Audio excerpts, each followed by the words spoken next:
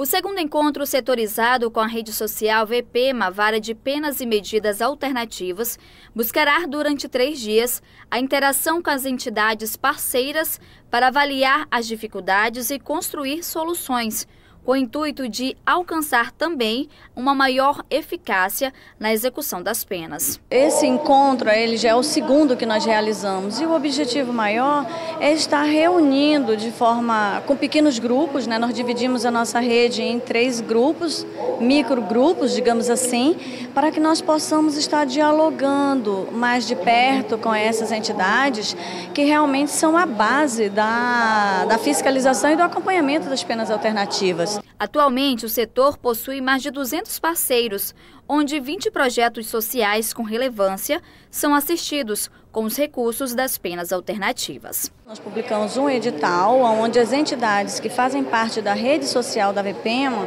podem estar apresentando projetos. Esses projetos devem ter relevância social e uma vez apresentados, eles são analisados, tem todo um critério, né? vários itens que são analisados, isso tudo está no edital, né? no certame.